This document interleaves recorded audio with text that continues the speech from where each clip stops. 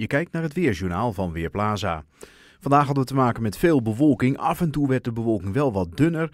En een klein gaatje erin met een waterig zonnetje. En die gaatjes worden de komende uren langzaam wel wat groter. Dat zal met name in het noordoosten van het land gebeuren. Want in het zuidwesten houden we vooralsnog vrij dikke wolken.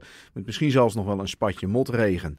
Computer laat het ook zien in de loop van vandaag wat motregen. De grens met dikkere wolken weet niet heel veel verder te komen. Dan klaart het op morgen en gaat de zon breed uitschijnen. Het betekent in de nacht wel een grotere kans op lichte vorst.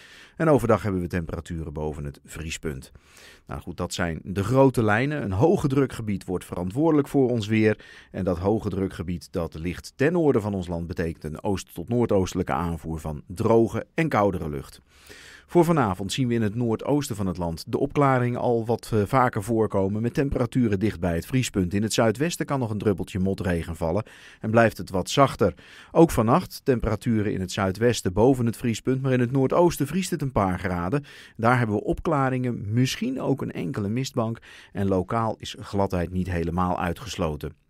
Dan morgen overdag op steeds meer plaatsen de zon. Mogelijk nog een spatje motregen in, het, eh, in, de ochtend in Zeeland. Maar daarna is het ook daar droog. En later op de dag klaart het ook in die hoek van ons land op.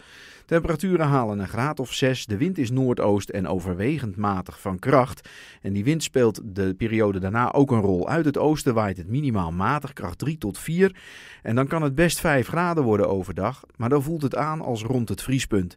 We hebben daarbij wel veel zon en heel droge lucht. Dus die statische kun je ook gaan merken. Raak je iets aan, krijg je zomaar een tik.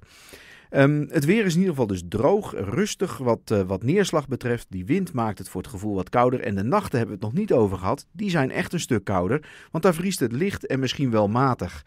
De kanspercentages voor vorst in de nacht zijn gewoon heel erg groot tot en met na het komend weekend. 100%, we gaan gewoon onder nul. Sterker nog, we kunnen zelfs onder nul blijven in uh, de daglichtperiode. En dat geldt dan met name voor de maandag en de dinsdag. Het is nog niet zo dat het 50-50 is, maar een kans van 30, 40 procent op een ijsdag, die is er gewoon aanwezig. Ja, en dat betekent dus dat we echt een tijdje lang wat wintersweer hebben, maar het is wel droog, zonnig en schraal.